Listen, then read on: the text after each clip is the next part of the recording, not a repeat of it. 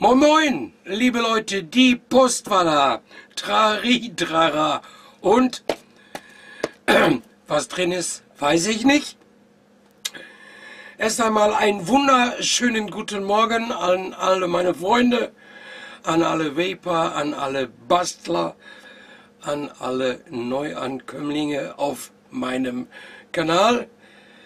Herzliche Grüße zum 6.12.2016 zum Nikolaustag. Naja, nicht der Nikolaus hat mich beschenkt, sondern ich mich selber. Und geliefert hat es auch nicht der Nikolaus, sondern äh, die DHL.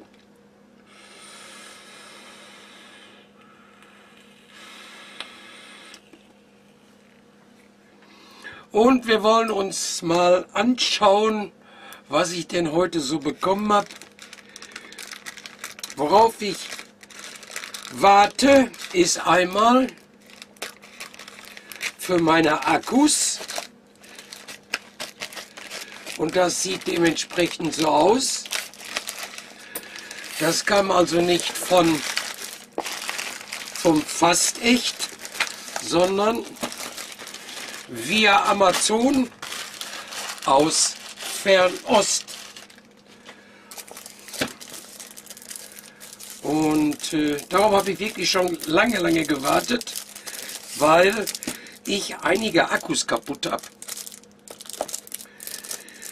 Zwar jetzt nicht technisch K.O., sondern aufgrund der Isolation, wo ich dann Angst habe, wenn ich das irgendwo im Mod reindrücke oder in mein Ladegerät, dass dann ganz plötzlich ein Kurzschluss entsteht, weil oben am Pluspunkt die Isolation kaputt ist.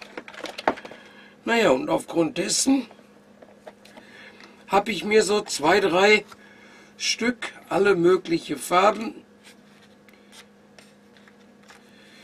mir da was schicken lassen. Ne? Glaube, das sind insgesamt 286 Stück. Also so viel Akkus habe ich nicht. Aber ich habe ja auch noch Freunde, äh, wo ich dann sage, komm, ich mache dir den Akku mal eben ein bisschen sicherer. So, da hoffe ich jetzt, dass da mein Gehäuse drin ist. Beziehungsweise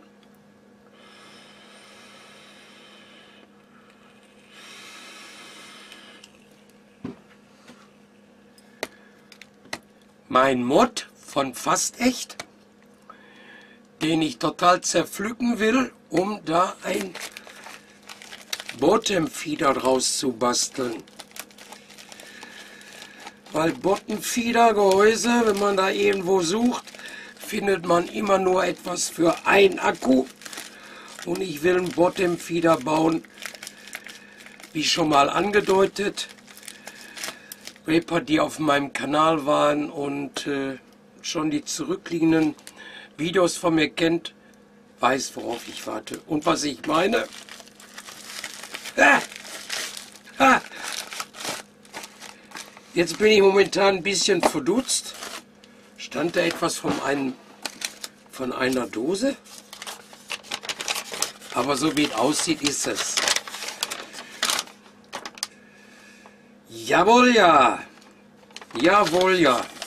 Warum das jetzt so lange unterwegs war, verstehe ich nicht. Normalerweise, wenn ich Porto zahle über DHL Express, äh, war das meiste bisher innerhalb von elf Tagen hier, einmal sogar fünf Tage. Und das hat jetzt fast vier Wochen gedauert. Ja, genau wie es auf dem Bild aussieht, aber egal. Schweinchen rosa. Naja. Aber das heißt, ich kann anfangen.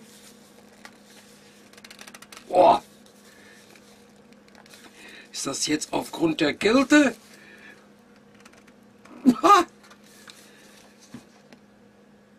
sind die Magnete so stark? Das kann ich nicht glauben.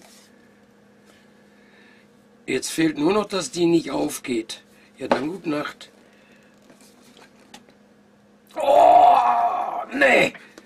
Das gibt es doch gar nicht. Oh, und eiskalt ist sie. Eiskalt. Schön. Ich denke mir, das wird hinhauen. Und, äh, ja, nee, ist klar. Also, äh, ich muss euch das zeigen. Das ist das, was ich immer bemängel. Was so einfach ohne lange Überlegen produziert wird und auf Deutsch gesagt äh, wirklich gefährlich ist. Ne? So, stelle ich das mal ein bisschen beiseite, damit ich euch das zeigen kann. So, darüber, tiefer, tiefer, so. Und schaut mal.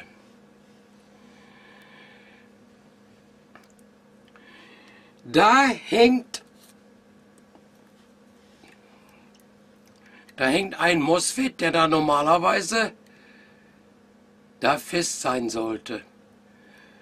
Und hat sich schon gelöst, aufgrund da die Kabel natürlich hier so ein bisschen steif sind und womöglich auch aufgrund der Temperatur. Auf der anderen Seite, da hängt er noch, nein, ist er auch ab. Dieser Schaumstoff gehört da nicht dran, da gehört ein Kühlkörper hin, damit die MOSFETs auch gekühlt werden. Also einfach ein, ein Krimi, ich sage mal wirklich einen kriminellen Aufbau.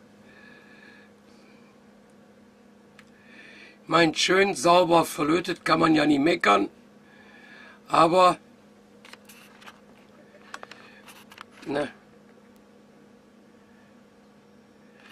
Ihr wisst ja, was ich damit vorhabe. Das fliegt alles raus hier und da kommt eine Buttonfeder rein. Und äh, jetzt kann ich endlich anfangen. Alle Teile habe ich. Ich habe die Kühlkörper etc. pp. Und jetzt wird alle so schrittweise mache ich Videos, um euch das zu zeigen, was ich geändert habe, bis am Ende ein Bottom-Feeder rauskommt. Schön. Aber ich fange da heute nicht an, weil ich muss nachher zur Arbeit und äh, ich will da so ein bisschen Ruhe für haben.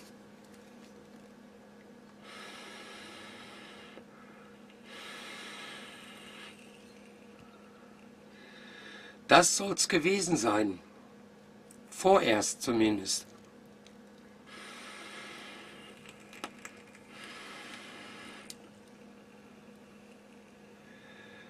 Möge der Dampf mit euch sein. Bis zu einem meiner nächsten Videos. Tschüss, bye bye, winke, winke. Eure Smokevolke, die Diane.